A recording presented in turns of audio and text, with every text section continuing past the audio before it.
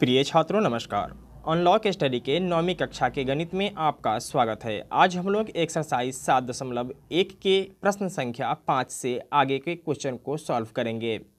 अगर आपको ये वीडियो अच्छा लगता है तो वीडियो को एक लाइक कर दीजिएगा और चैनल पे नए हैं तो चैनल को सब्सक्राइब करके बेल आइकन को प्रेस कर ऑल पे क्लिक कर दीजिएगा। ऐसा इसलिए कि जब मैं कोई वीडियो डालूँगा, उसका नोटिफिकेशन आपको समय समय पे मिलती रहेगी। तो आइए वीडियो शुरू करते हैं। प्रश्न संख्या छः है आपका, यूक्लिड के तीन अभिगृहितों को लिखें। दोस्तों, यूक्लिड के कुछ अभिगृहित निम्नलिखित हैं, जो नंबर एक हैं। वे वस्तुएँ जो एक ही वस्तु के बराबर हो, एक दूसरे के बराबर होती है। नंबर दो, यदि बराबरों को बराबरों में जोड़ा जाए तो प्राप्त पूर्ण भी बराबर होते हैं। नंबर तीन, यदि बराबरों को बराबरों में से घटाया जाए तो प्राप्त शेषफल भी बराबर होते हैं। नंबर चार, वे वस्तुएँ जो परस्पर संपाति हो, एक दूसरे के बराबर होती है।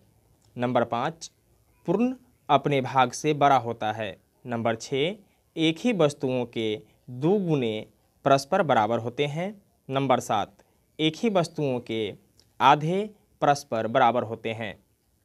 दोस्तों इन सात पॉइंट में से किसी भी तीन पॉइंट्स को आप यहाँ पे लिख सकते हैं। तो हम लिख लेते हैं नंबर एक, पूर्ण अपने भाग से बड़ा होता है। पूर्ण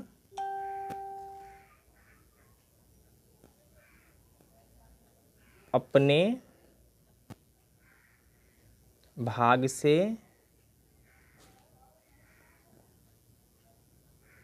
बड़ा होता है।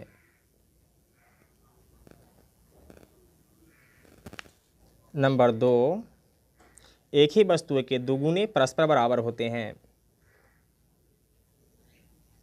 एक ही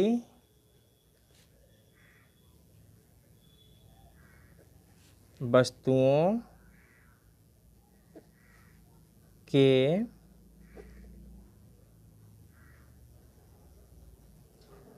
दो गुणीय परस्पर।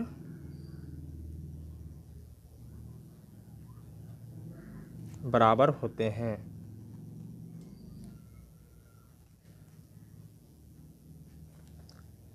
पॉइंट नंबर तीन है आपका। एक ही वस्तुओं के आधे परस्पर बराबर होते हैं।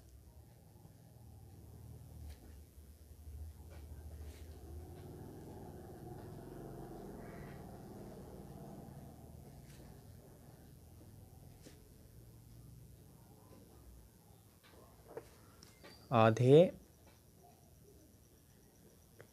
परस्पर बराबर होते हैं। तो नेक्स्ट क्वेश्चन आपका है question number seven Playfair के अभिधारणा को लिखें।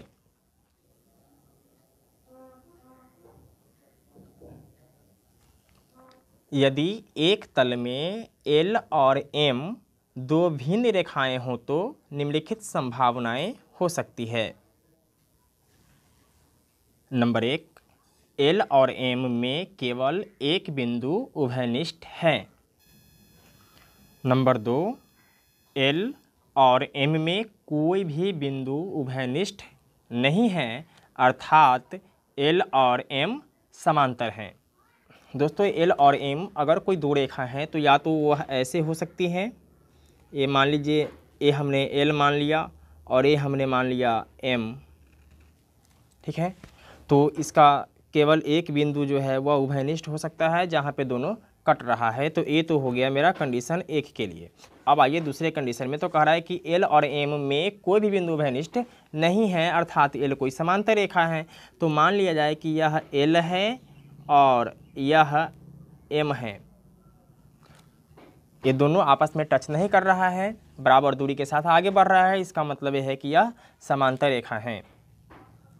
अब बढ़ते हैं नेक्स्ट क्वेश्चन में।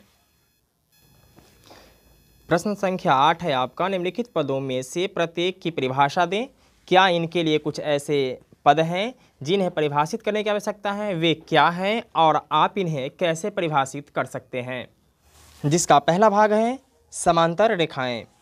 दोस्तों, समांतर रेखाएँ तब कहलाती है जब उन दोनों में से कोई भी बिंदु उभयनिष्ठ नहीं होती है। जैसे मान लिया जाए कि एक रेखा ए हो गया और दूसरा रेखा ए हो गया। इसमें से इसको एल मान लेते हैं और इसको एम मान लेते हैं और यहाँ पे हम यह देखते हैं कि दोनों में से कोई भी रेखा आपस में टच नहीं कर रहा है, स्पर्श नहीं कर रहा है तो तो यहाँ कोई भी उभयनिष्ठ बिंदु नहीं बन रहा है और यह समांतर रेखाएँ कहलाएगी। सेकेंड है आपका न्यून कोण।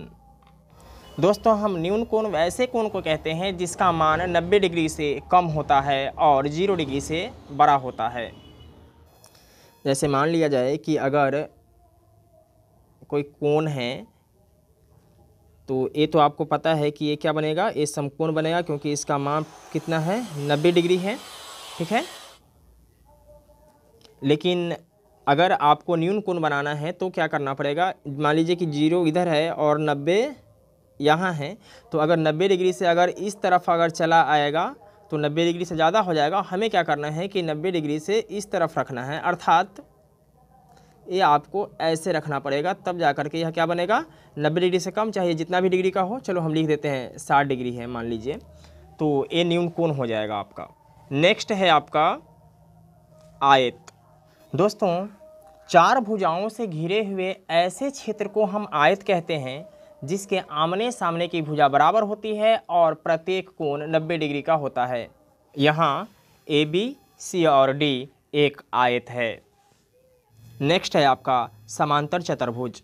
दोस्तों, समांतर चतुर्भुज के भी आमने सामने की भुजा बराबर होती है, लेकिन इसका प्रत्येक कोण 90 डिग्री का नहीं होता है। ये एक प्रकार का चतुर्भुज है और इसके जो अपरिभाषित पद हैं, वह चतुर्भुज और रेखा हो जाएगा।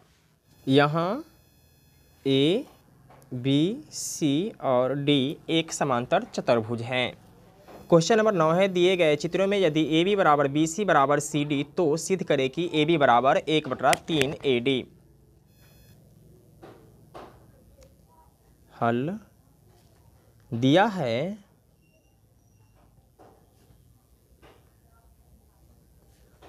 ए बी बराबर बी सी बराबर सी डी। तो यहाँ ए डी बराबर हो जाएगा आपका A B plus B C plus C D तो ए डी बराबर यहाँ ए बी प्लस दोस्तों बी सी जो है, वह भी ए बी के बराबर है तो हम बी सी के जगह ए बी लिख सकते हैं। तो A B plus C D भी ए बी के बराबर हैं तो सी डी की जगह हम ए बी लिख सकते हैं। तो यहाँ ए डी बराबर एक, दो, तीन ए बी हो जाएगा। क्या हो जाएगा? तीन ए बी तो इसका मतलब ये है कि तीन गुने ए बी तब हम इसे करते हैं ए बी बराबर एक बटा तीन ए डी क्योंकि जब यहाँ हम तिरछा तिरछी गुना करेंगे तो क्या हो जाएगा? तीन से ए बी में गुना हो जाएगा तो क्या हो जाएगा? तीन ए बी हो जाएगा और A D Ekam A D हो जाएगा। यही हमें सिद्ध करना था। क्वेश्चन नंबर दस है, आपका दिए गए चित्र में यदि पी आर बराबर क्यू एस तथा पी क्यू बराबर क्यू आर तो सिद्ध करें कि पी क्यू बराबर एक बटा तीन पी एस। हल। दिया है आपके पास पी आर बराबर क्यू एस।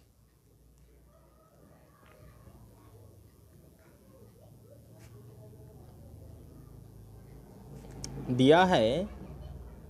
पी आर बराबर क्या? Q S. तो हमें सिद्ध क्या करना है? पी क्यू बराबर एक बटा तीन पी एस।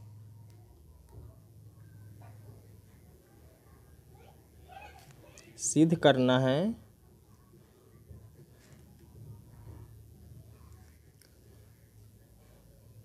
पी क्यू बराबर एक बटा तीन पी एस। तो आपके पास दिया हुआ है पी आर बराबर क्यू एस दिया हुआ है। चलिए इसको हम समीकरण एक मान लेते हैं। समीकरण एक में दोनों तरफ़ लिखेंगे, समीकरण एक में दोनों पक्षों में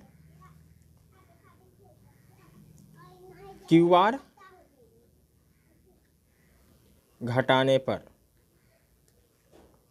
तो क्या करना है? पी आर है तो लिखेंगे पी आर और इस पक्ष में क्या है? क्यू एस है। हमें क्या करना है कि इस तरफ़ और इस तरफ़, दोनों तरफ़ में क्या करना है कि क्यू आर को घटा देना है। तो क्यू आर घटा देते हैं इसमें से भी और क्यू आर घटा देते हैं इसमें से भी। और अब आप यहाँ देख सकते हैं कि P से R की दूरी इतना है। कितना है? यहाँ से यहाँ है। अब इसमें से अगर हम Q से R की दूरी को घटा देते हैं तो क्या बच रहा है मेरे पास? P से Q की दूरी बच रहा है ना? तो लिख देते हैं पी क्यू और बराबर इसमें। अब इस, इधर आइए। Q से S में। तो Q से S की दूरी में से अगर हम Q से R की दूरी अगर यहाँ घटा देते हैं तो क्या बच रहा है? आर एस बच रहा है तो लिख देते हैं क्या? आर एस, इसको हम मान लेते हैं समीकरण दो। अब यहाँ पी क्यू बराबर आर एस हो गया, यानी पी से क्यू की दूरी जितना है, उतना आर से एस की दूरी है तो क्यू आर भी बराबर हो जाएगा। ठीक है? तब हमें क्या करना है? लिखना है पी क्यू बराबर क्यू एस बराबर आर एस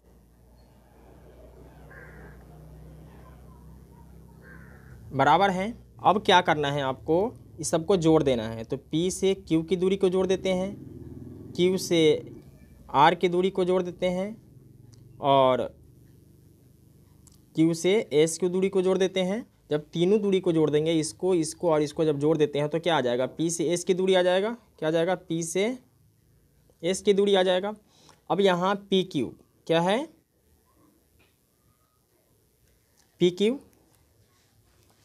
और क्यू आर भी पी क्यू के बराबर है तो यहाँ भी हम लिख सकते हैं पी क्यू और क्यू एस भी पी क्यू के बराबर है तो यहाँ भी हम लिख सकते हैं पी क्यू बराबर में है पी एस अब देखिए पी क्यू पी क्यू और पी क्यू जब तीनों को जोड़ेंगे तो ये आ जाएगा मेरा तीन पी क्यू बराबर में पी एस जिस प्रकार से क्वेश्चन नंबर नाइन में किए हैं पी क्यू बराबर एक बट्टा तीन पी एस लिख दीजिए। सिद्ध हुआ। दोस्तों, आपको ये वीडियो कैसा लगा? कमेंट करके ज़रूर बताइएगा। फिर मिलते हैं नेक्स्ट वीडियो में। तब तक के लिए जय हिंद।